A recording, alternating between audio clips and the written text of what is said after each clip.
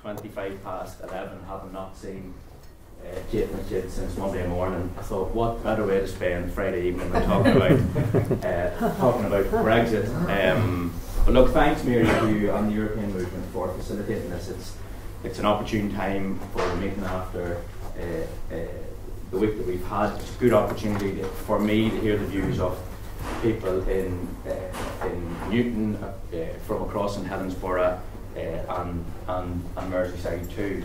Now, I, I, I, suspect there'll be an expectation that I'm going to tell you what's going on and what's going to happen next. I, I was hoping to harvest some of that, uh, some of that from you. Look, this is this is an unprecedented, uh, uh, volatile, and very unpredictable time uh, in, in in our politics.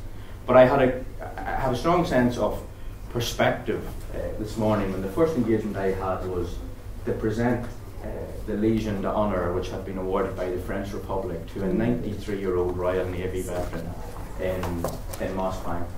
Um, he served uh, in the Battle of the Atlantic and he had served on uh, D Day. He went on to teach in Primary School, as many of you uh, will know. And that gave me a sense of, uh, uh, despite the challenges and difficulties that we face, and inevitably, you know, they are tough uh, it pales into insignificance when you think of the challenges that uh, the Greenall's generation had. Uh, their service, their sacrifice, their ability to put the national interest first. So not only was it a sense of perspective that it gave me, but I suppose a sense of uh, a, a, a, sense of inspiration too to have this 93 year old man insisting that I called him Dave, but refusing to call me anything but Mr. McGinn, and hoping that he hadn't caused me too much uh, trouble by having this was created in the fact that you know, we contributed to one of the most uh, important and uh, uh fantastic uh, victories over uh, evil forces that, that, that, the world has ever known, and that he's a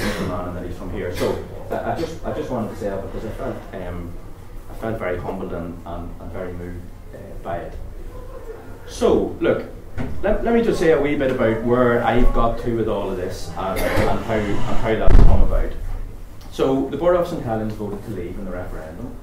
Uh, I very strongly supported a Remain vote, but here by 58 42% and across the country by 52 to 48% uh, uh, we voted to leave. Now, as a member of Parliament, I receive a mandate at every general election, which is when, hopefully, uh, uh, the majority of people in St Helens North vote for me to represent them and, and make decisions on, on their, on your, on your family's behalf around everything from schools to hospitals to, to war and peace to pensions to social care. So I make those decisions based on what I think is in the best interest of people here, based on the fact that I'm a Labour MP who stands on a Labour manifesto. And the deal is that if people don't like the decisions I make, then they get to vote for somebody else at the next election. Now, the referendum was different because the referendum was what I call an instructive mandate, where on a specific issue, people said that this was the course of action that they wanted to take. Now, many of my colleagues in the Labour Party voted against triggering Article 50. I felt it was my, and I, and I understand that, and some of them did so because they thought it was in the best interest of the country, because they thought Article 50 had been triggered uh, too soon, which I also felt, and some of them because their constituencies voted to remain.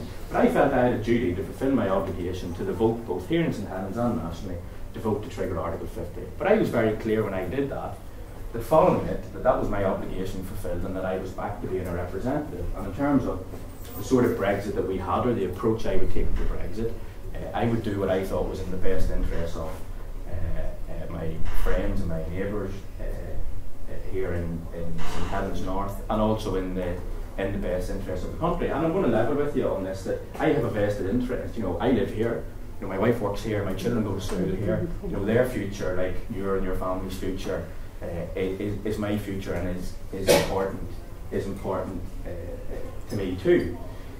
So following that, uh, and having been closely involved in the debate, both within the Labour Party and within Parliament as a whole.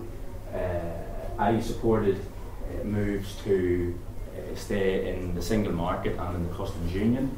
Uh, I think, broadly speaking, uh, the Labour Party position has been uh, has been one that has evolved, but that fundamentally is about, if I'm being candid, balancing the fact that we are the only truly national party left now in the sense that we have seats where 70% of people voted to remain and 70% of people voted to leave, and there's a political balance that you have to get right with that.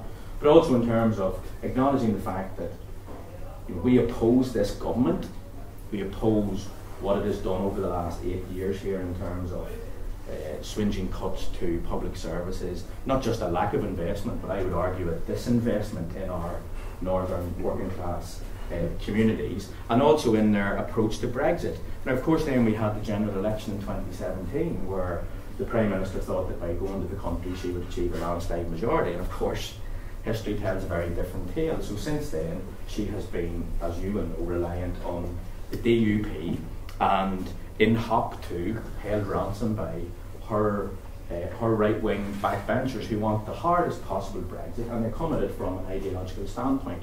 Now, I understand some people in St Helens still feel very strong that we should leave the European Union, but all I'd say to people is do you really think that people like Boris Johnson and Jacob Rees Mogg have any identification with people who live in this town, in Newton, who live in this borough?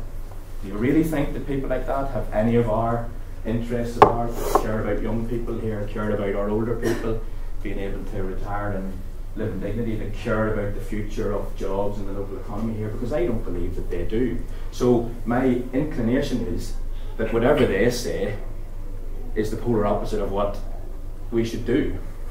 Uh, and so that, I suppose, reached uh, reached its climax this week when the deal came before Parliament. Now, th- this is difficult for me because, you know, I am, you know, I am a Labour Party uh, politician. I'm very uh, proud of uh, my own background in the in the trade union movement, but I am fundamentally moderate in my approach to politics. I don't. I, I like to try and be able to build consensus. I'm rooted in socialist values, but I'm pragmatic enough to know that sometimes you don't get everything you want, and you have to uh, make make compromises. But the compromise that I couldn't make with this deal was the fact that it would make people here poorer. Yeah. And I did not come into politics. No, I did not move to live in this community. I did not decide to seek to represent this community to make anybody in it poorer. And I'm not going to do that. And neither am I going to apologise for having that as my fundamental standpoint in my approach to Brexit, or in fact any any any other issue. Uh, I thought it was a bad deal for an awful lot of reasons. Uh, it offers nothing on workers' rights. Now, anybody who trusts this government to bind in the workers' rights that have been so hard won through our membership of the European Union.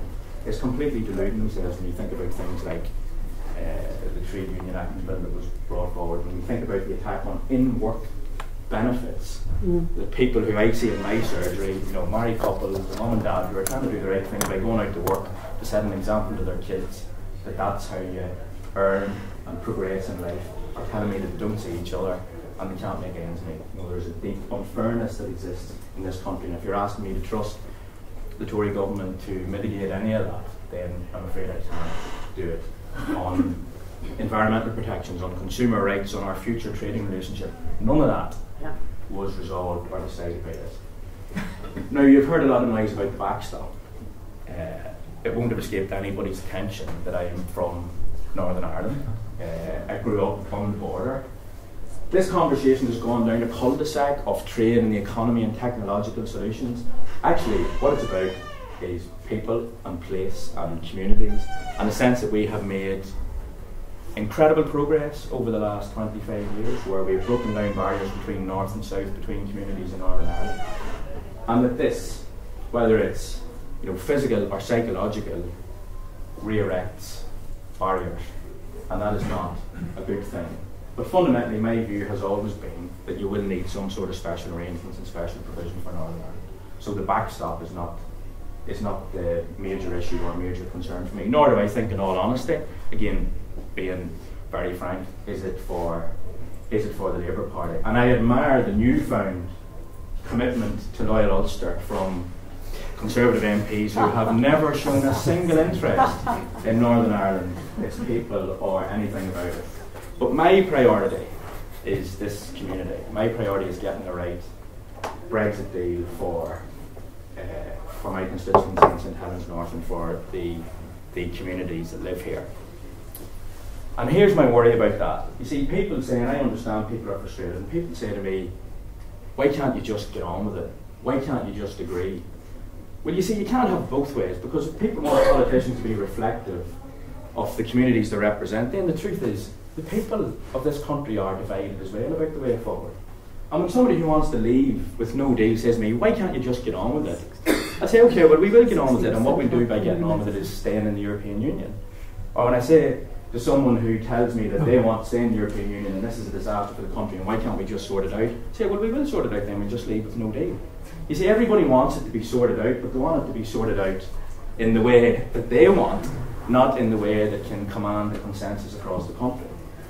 So I have, having, you know, wrestled with this, uh, I have come to the conclusion that failing, um, failing to get a general election, which I think given the arithmetic of Parliament, given the confidence and supply vote we we, saw this week, failing to get a, a, general election, which I think is now, is now unlikely, uh, Parliament can't reach consensus. So I have reluctantly come to the conclusion that we that we may need to go back to the people. And I don't do that to attempt in any underhand way to get us to stay in the European Union by the back door or default. If we have a second referendum, I think there should be an option for Remain, and I would be very vociferously and strongly campaigning for that. But you know, when I when I when I sort of did my Friday Friday um, morning routine a couple of weeks ago, which is you know barbers, butchers, and bookies uh, in Earlstown, uh, people there who are leavers told me that you know they have come to the conclusion that maybe the only way to resolve this is to go back to the people. Now they'll be voting to leave; they won't have changed their minds. A great many of them. Now lots of them will, because my argument is it's not like saying that people were wrong or or or, or you know the pe- people. Uh, people voted in the way they did for anything other than genuinely held uh, views about the best uh, future for the country. But I think if we're being honest with ourselves and each other, uh, people voted in 2016, those who voted to leave, they voted for a concept, leaving the European Union. Now, two years on, we've seen the practicalities of that. Now, in some ways, this stands up some of the arguments that was made by the Leave campaign because we've actually had 40 years where we are completely intertwined with, or enveloped is another word, European Union law around everything. It affects every facet of our lives. And you can't just disentangle yourself from that by having a, a clean break or, uh, or, or, or, or a cliff edge.